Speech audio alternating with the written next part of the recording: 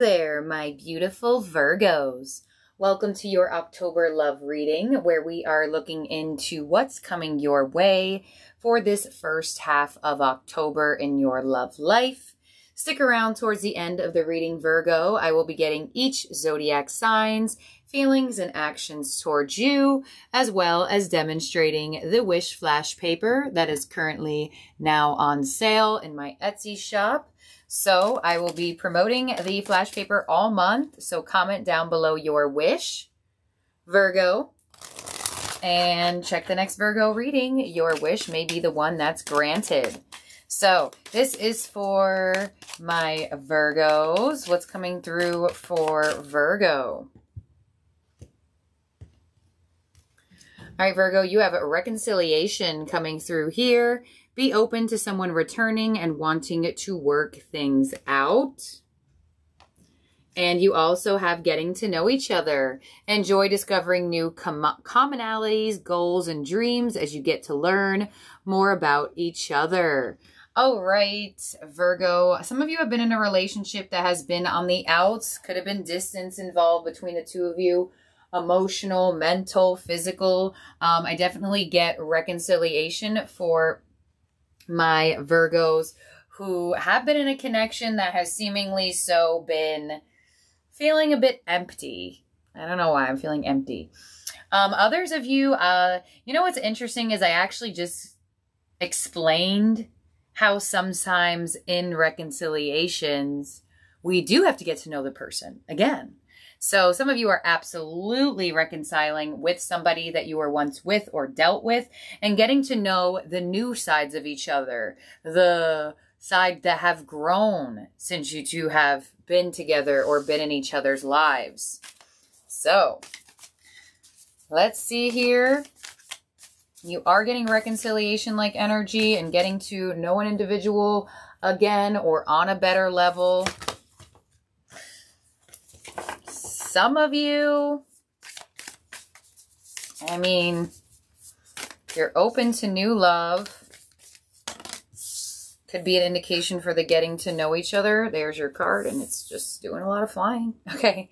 Virgo, your lover's oracle is imagine all want unwanted thoughts dissolving into light creating room for new opportunities and possibilities for your life. Yeah, I am strongly feeling like this is an energy that you do know or did once have an experience with, a relationship with, or still in experience and relationship with. There definitely has been some issues or problems in the past. I kind of feel like for some of you, there was a fear of fully reconciling um, because there was almost a fear of did this person grow? Are we going to get better? And a lot of you are going to be surprised that there it, there has been evolution. And it's almost like you two are getting to know the healed and grown parts of self now if there has been an actual physical separation for quite some time. Others of you, I just definitely see some sort of compromise with your person and just having better conversations with each other and not thinking so negatively towards the connection. So let's see what the tarot has here for my Virgos. All right, Virgo, let's see. We have the King of Swords. We have the Knight of Cups. And the Empress. Yeah, Virgo, you definitely have been to yourself. There has been some sort of distance and or um, detachment in this connection. Emotionally, mentally, maybe even physical effort. I feel a missingness of energy. So, you know, you could even live with somebody and there could just be like a roommate or sort of energy. You know how many times I've seen comments like that where it's like, yeah, well, I live with this person and we haven't even talked in weeks. Um, some of you, that could be your energy where you and this person are becoming more physically connected, where there was like a lack of that or an, or an emptiness of that. Let's clarify this here for you, Virgo. Some of you are just becoming more open to growth with this individual where maybe you weren't. That open to reconciliation. Maybe some of you, this is vice versa. This person was very closed off. I kind of feel like for some of you, there could have been a power play situation here. Well, well, you're closed off and now you're open. So now I'm going to be closed off. It's kind of like waiting for both of your energies to feel the same. It could have taken quite some time. Three of Pentacles, exactly, in working things out in the physical. Eight of Cups and the Ten of Cups. There it is. So yeah, I definitely see a return of opening up the heart towards somebody. So for some of you Virgos, this has been you, and this person really wants to work things out with you, really wants to reconcile with you, and you may be coming a little bit more warmed up to that possibility, um, or this person is warming up to reconciling with you. It's like things were cold. Like I literally feel in the way to explain it to you with temperature by saying it, it's like warming up you're, somebody's warming up to you again or you're warming up to another person again. Taurus, Libra energy there with the Empress. Uh, but it's definitely going to bring a sense of happiness here. Where it almost felt like, okay, is this detachment, is this separation going to be it for us? Is this going to be where we move on from each other? Or is this going to be what breaks us or separates us forever? And it's like, no. There's something along the lines like that. There could also be mother figure involved here. Maybe, you know, um, family, friends were aware of this connection. There could be a bit of a, there was a kid, could, ooh, can't talk. That could have been a situation. There you are, Virgo. Um, uh, could have been a situation around that, a fear of telling the people around you, like, hey, me and this person are trying to work things out, or hey, me and this person are being civil or really could be anything or we're going to stay together. There could have been a situation here where other people knew of the conflict in this connection. And that could have influenced somebody to stay cold or detached. But I get this warming up like energy. So Virgo, that's what I have here for you for the first half of October. Let's see for your second half of this reading. We're going to look into each zodiac sign's feelings and actions towards you. But there's a reconciliation. There's definitely a talk here and a lot of warming up to each other again. Okay, so let's see here, Virgo. All the way from Aries to Pisces, please show me each zodiac sign's feelings and actions towards Virgo for this first half of October. And then I'm going to show you the wish paper. So we have Aries feelings for you as the world and their actions towards you are the Eight of Wands. Aries definitely wants to have a new beginning. There definitely could have been a completion of a cycle or an ending between the two of you. Aries definitely wants to have a commun a talk, a conversation about sparking a new cycle. Highly interested in moving this forward. Again, in general. Taurus, feelings for you, Page of Wands, some sort of communication coming here from a Taurus. Their actions towards you, King of Swords. You could be dealing with a Taurus who is very open to flirting and that kind of thing, but anything that gives them more vulnerability or love, they're totally closed off on that. Could be a bit confusing with a Taurus. We have Gemini's feelings for you as the Two of Pentacles, and their actions towards you are the Queen of Pentacles. Gemini's making a conscious decision to be more stable for this connection. Could be finding that your Gemini's more reliable, giving towards you. They may have been all over the place and feel a bit more settled down in this connection. Or maybe they felt indecisive over your placement. We also have Cancer's feelings for you as the Two of Swords and Temperance as their actions. So I feel like Cancer wants to make peace with you. They just don't really know how to go about doing that. I feel like they're being patient, they're taking their time, or you could just be dealing with a Cancer who's taking their sweet time and opening up their heart towards you. And it looks like they still feel the need to be patient, at least for the first half of October.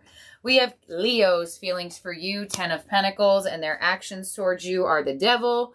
Um, definitely could be a family dynamic here connected to a Leo. There could be some sort of toxicity or unhealthiness that's being worked on, or um, could be a little bit of temptation here. Let's see, Leo's actions towards you, Eight of Cups. Leo is finding it hard to disassociate from this connection.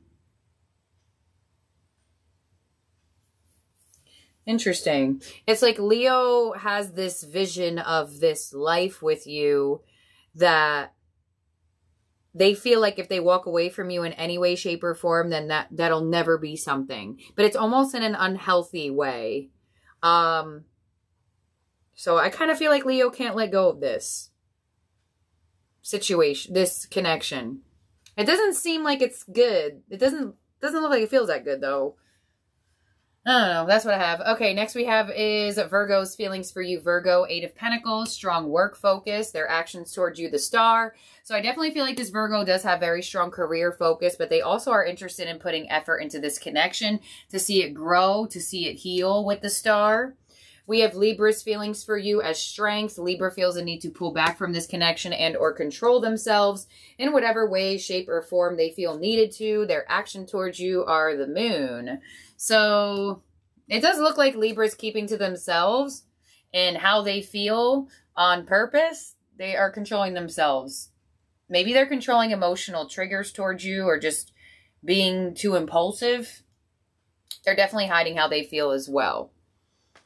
And I'm not sure they're going to be that open about it the first half of October. We have Scorpio's feelings for you as the Emperor. So you could be dealing with a Scorpio who is a boss-like figure or very focused on their work situation. Their actions towards you are the Nine of Wands. So um, you could be dealing with a Scorpio who is almost putting up a barrier or a wall because they do have such strong focus or they feel like you're doing that and you're blocking and putting a barrier to keep them out of your energy in whatever way, shape, or form.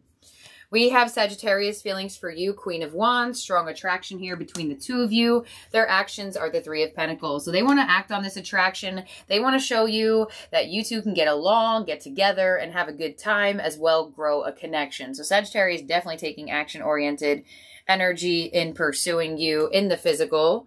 We have Capricorn's feelings for you as the Five of Wands, some conflict, some insecurity, their actions towards you, King of Cups. So I kind of feel like Capricorn's a little bit um, all over the place with how they feel about you. Either they feel insecure, they feel jealous, or they just feel some type of way inside. But on the surface, man, are they not showing it. Um, we also have Aquarius, feelings for you, Seven of Swords, and their actions towards you are the Hermit. So Aquarius feels a need to avoid this connection either because they um, are not ready to give their heart up or they feel um, possibly um, it's not the best energy for them to give their heart away. Aquarius feels a need to avoid this situation. Seven of Swords is avoidance. So either they feel the need to avoid this situation because of deception um, or they just feel the need to avoid. But with the Hermit, um, that as their action card, I don't see them taking action. And lastly, we have Pisces feelings for you as the Four of Cups. They feel a bit ignored or rejected by you, or they kind of feel like they're not getting exactly what they want from you. Ace of Swords is their actions towards you. So Virgo, this Pisces may even voice that they feel a bit ignored or rejected or that they're not getting what they want from you. There could be new communication and connection to a Pisces that feels a bit off in this connection. They just look like they don't think they're getting exactly what they want. So it looks like they may voice it. Okay, Virgo, let's make sure everyone's out. 1, 2, 3, 4, 5, 6, 7, 8, 9, 10, 11, 12. All right, Virgo. And now we are going to demonstrate the Wish Flash paper that is on sale in my Etsy shop. You can find the link for it down below in the description box. It's called Wish Flash Paper Manifestation Kit. So it's going to come with your paper that you write your wish on. This is going to be a blank paper, so focus on your wish. And um, we're going to use this as whoever watches this video and comment down below and put on those notifications because we are choosing wishes for the next Virgo video, and your wish could be the one that's chosen. So definitely comment down below. So in the kit, you get six papers about this size. You get tongs, you get a lighter, you get a bunch of little other spiritual goodies as well. Um, directions. What else do you get? Pen, paper, pencils, so I give you all the tools you need. You just need to write your wish. So focus on it, focus on your wish, and I'm going to demonstrate the wish flash paper and how it works in manifesting and creating your own magic. So here we go. Virgo, focus on your wish.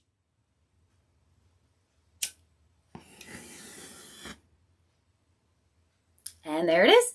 So thank you, my beautiful Virgos, for being here, for watching.